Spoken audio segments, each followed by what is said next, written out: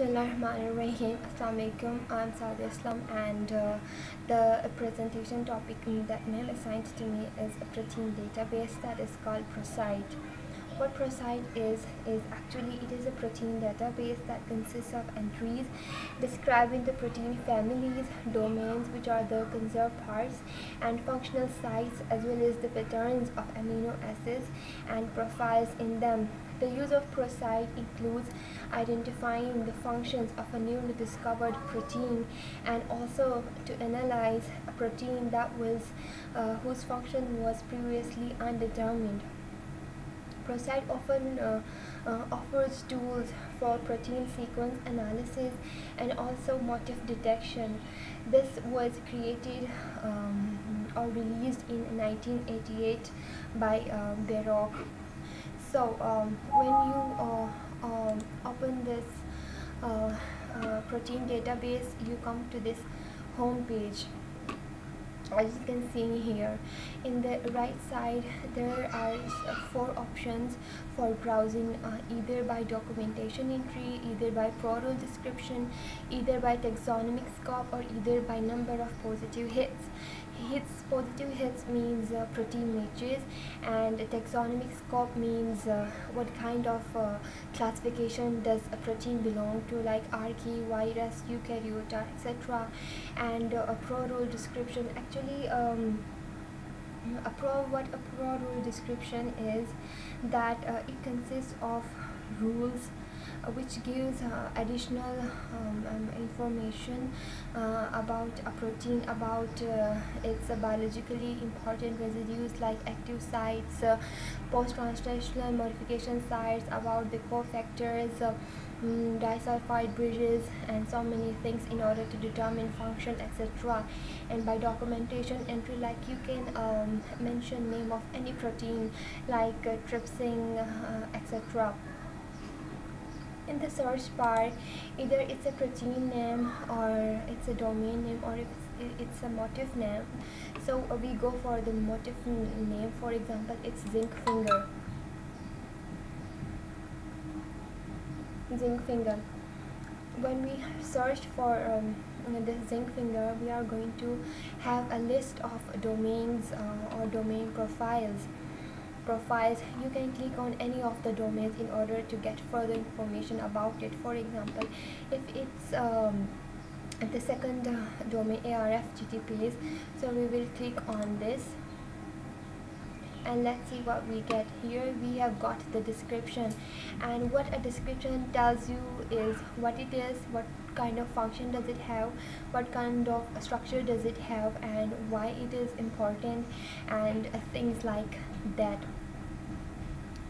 so uh, here uh, there is an another option which is called domain architecture. View of Swiss proteins matching um, this particular um, uh, protein which is PS50115 um, this is actually ARF base activated protein. So we will click on this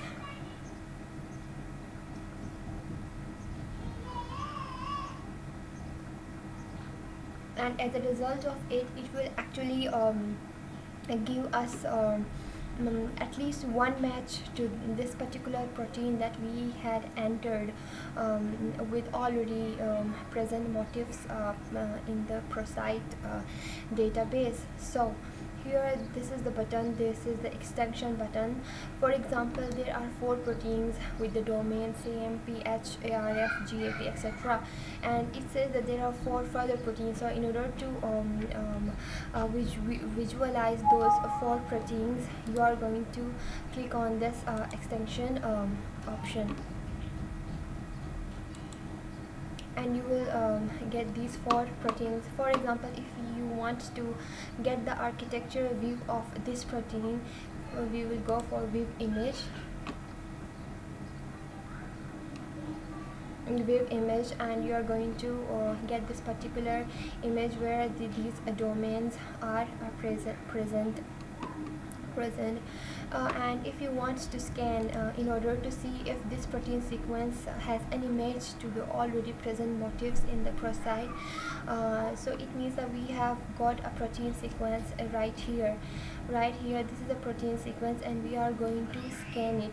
And before that um, the um, uh, terms for uh, input is that it must be a uniprot kb accession um, or, or like uh, there is an example this or uh, enterokinase uh, a human and pdb identifiers like this and sequences in FASTA format. All right. And um, in the uh, second option if you want to exclude motifs or exclude profiles you can do to bring any change through this option. And uh, the kind of result that you want to get is depends upon you. For example if you want a graphical view simple view text view in the form of FASTA or whatever it is. So if you want it in the form of FASTA we will click on FASTA and we will start the scan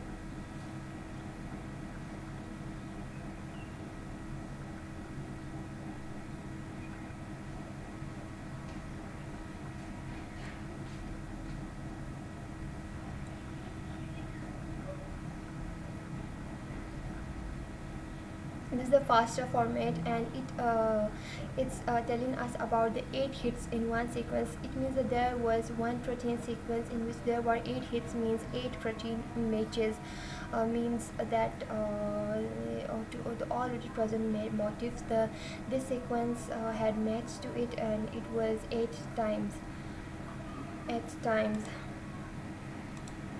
Besides um, besides if you want to go to the home page and uh, again uh, in the quick scan um, mode of ScanProsite you can um, uh, write any protein match um, uh, uh, in FASTA format or, anything. For example if we have any sequence in the FASTA format like this uh, we will copy it and paste it right here and um, uh, we will uh, scan it. And as a result of the scan what are we going to get is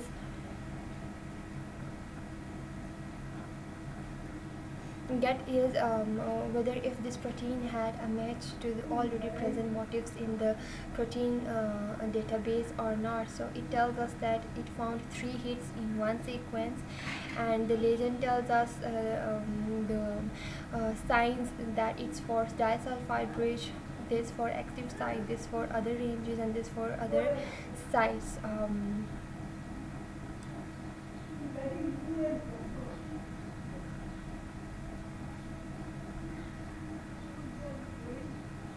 this is one head and these are the other two heads so and here um, uh, there are options like horizontal scaling do not show text labels or um, do not show sites in hints do not show edges in hits. Um, um, so you can redisplay and you will get um, another result uh, uh, depending upon the options that you clicked here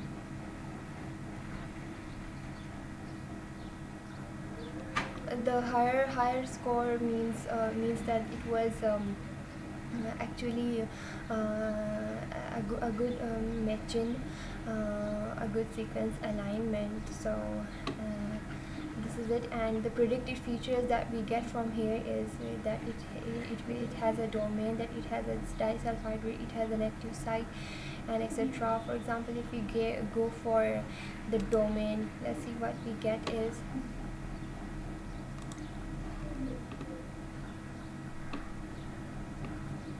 so it, this tells us that what kind of um, uh, domain and the position of the domain um, uh, which is being described. And um, these domains are actually self-stabilizing then these are independent and uh, things like that. So this is it